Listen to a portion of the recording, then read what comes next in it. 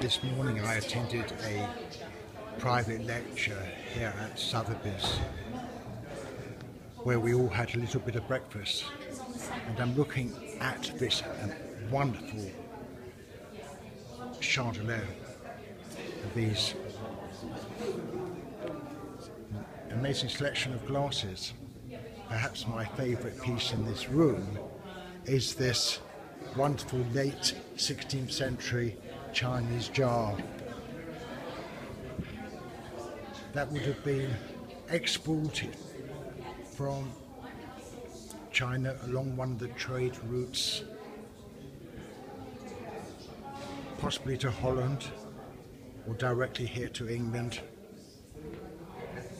Quite a magnificent piece. This vase, on the other hand, made into a seen here in the picture, was made towards the end of the 19th century. On the wall graces a wonderful Belgian tapestry. Another very, very popular design in China. I was here to see this amazing collection of Meissen porcelain.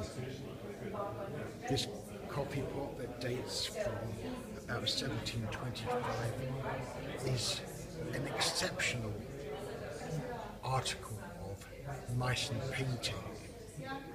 Perhaps one of the most important pieces of its genre ever made. Likewise, this coffee pot is only one of two made in the Bottger era. This is Meissen Höroldt at its very, very best.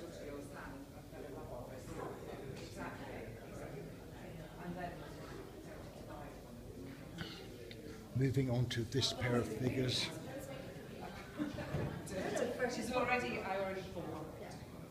The male is got the stamp of Bustelli, the most famous of all 18th century modelers working at Nymphenburg. And going back here, I find interest in this particular pair because they're, they're a new pair of Jardin very, very sensibly priced at four to five thousand pounds. I once paid five and a half thousand pounds for a pair of 19th century jardinières. And here we have secondary factories hushed in their own right, quite rare.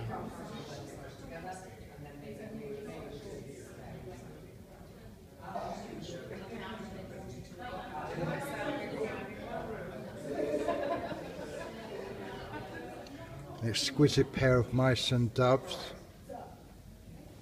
Again, the mark is very, very barely seen, being rubbed out. This is a good Chinoiserie beaker dated from 1725. Just the gilder's mark is evident. A difference in style in the maker Frankenthal, as is this Frankenthal figure of pantaloon.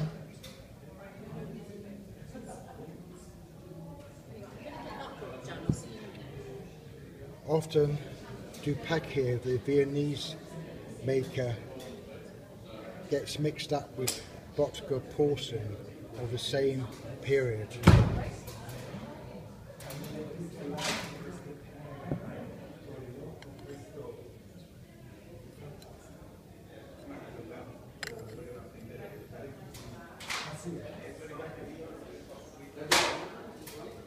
Spectacular painting all round. I do like these ducks sensibly estimated at 30 to 50,000.